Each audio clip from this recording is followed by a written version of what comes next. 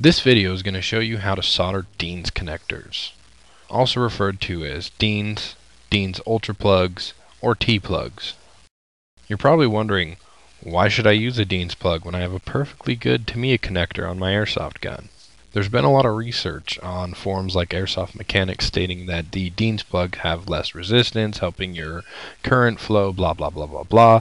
I just like to use them because they're quick, convenient, and easy, and they don't break down like the Tamiya connectors do.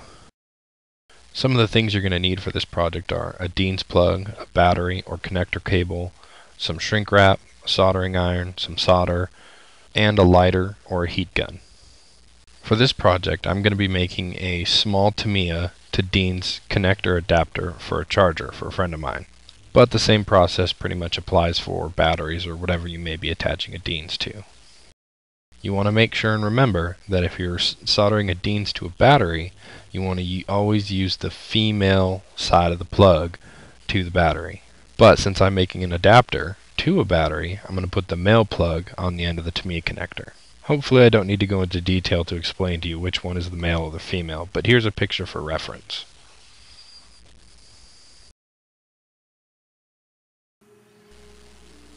When you first plug in your soldering iron, you want to put a small bead of solder on the tip of the iron. This is called tinning the tip, and it prevents the tip from oxidizing. Next, you will want to go ahead and prepare your wires. Go ahead and strip the ends of the wires. About an eighth to a quarter of an inch is all that's necessary. If you are connecting a Dean's to a battery, I recommend that you only cut and strip one wire at a time, so that way you do not accidentally arc the wires. Next you will want to hold the wire to the soldering iron. Place the solder on top of the wire and wait until the wire heats up enough to melt the solder. You'll be able to physically see the solder melt into the wire.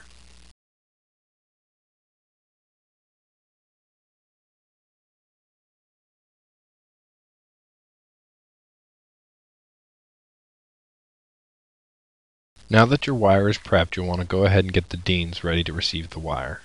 You'll see in the video a device that helps hold things for soldering. You don't need one of these, but it sure does make it easier. You can usually pick them up for around $10 at your local hardware store.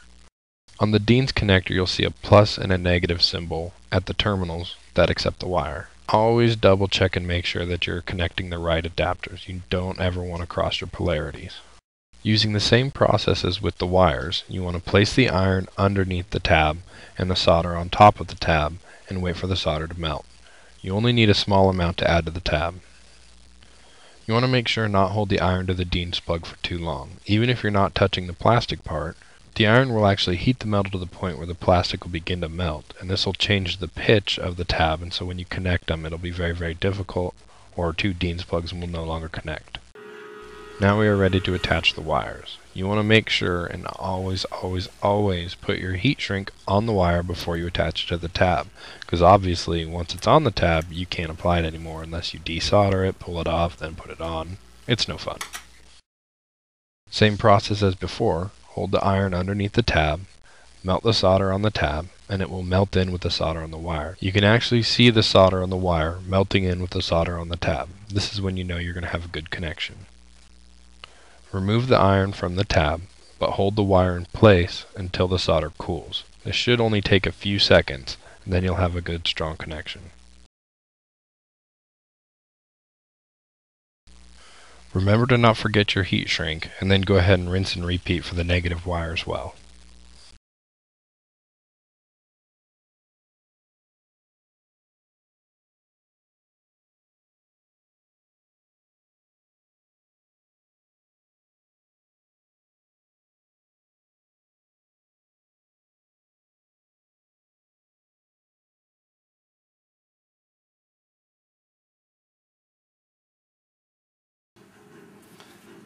Finally, you're going to want to add some heat to your heat shrink to go ahead and protect the connectors.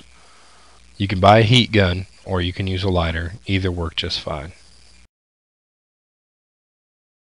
Once you're all done with that, you have successfully soldered Dean's to whatever connector or battery you may need.